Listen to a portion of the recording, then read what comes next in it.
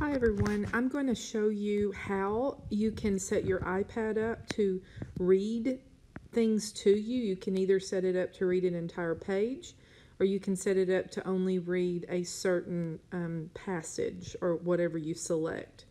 So the first thing you're going to do is you're going to go into settings and boys and girls, if you are the ones that are doing this, please only adjust the settings that we are talking about right now so once you go into settings, you are going to go to accessibility and look for spoken content.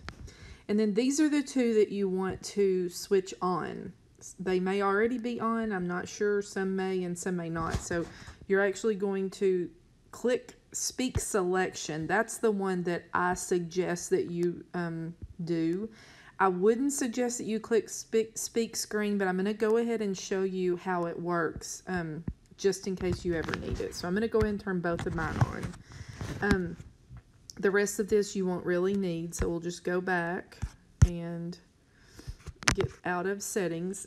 So I'm in, this is, here is my writing. Now this will not work on a PDF. And I don't think it will work within Seesaw unless your uh, teacher has linked you out to somewhere on the web. But it will work for anything on the web. So basically what you're going to do is if you're needing to read this and you're not sure or if you want it to be read to you, all you have to do is long press anywhere until you get that little blue shaded area. And then you're going to drag it. This is speak selection.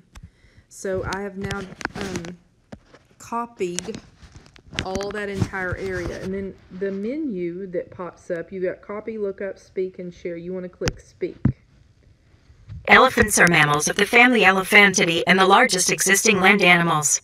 Three species are currently recognized the African bush elephant, the African forest elephant. Okay, and I'm going to push pause just to get rid of that. So you can see how it happens. Now, it could be that you only need one word. So let's say that you aren't sure about this word. And I just want to know what that word is. Distinctive. So you can hear distinctive. It tells you how to how to say it, what it sounds like.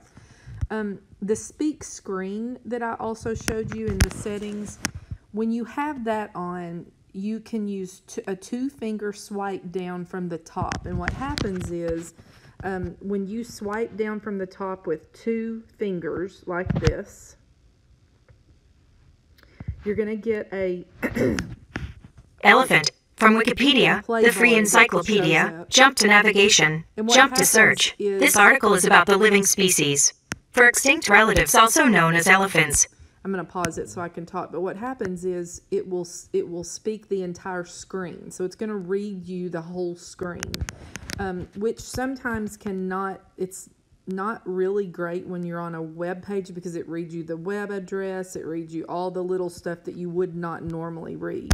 The best thing for students to use would be the the speak selection, which are again, let me go back over that is long press anywhere, drag what you want to be read, and then click speak. Sensitive skin. The trunk, also called a proboscis, is used for breathing, bringing food and water to the mouth, and grasping object.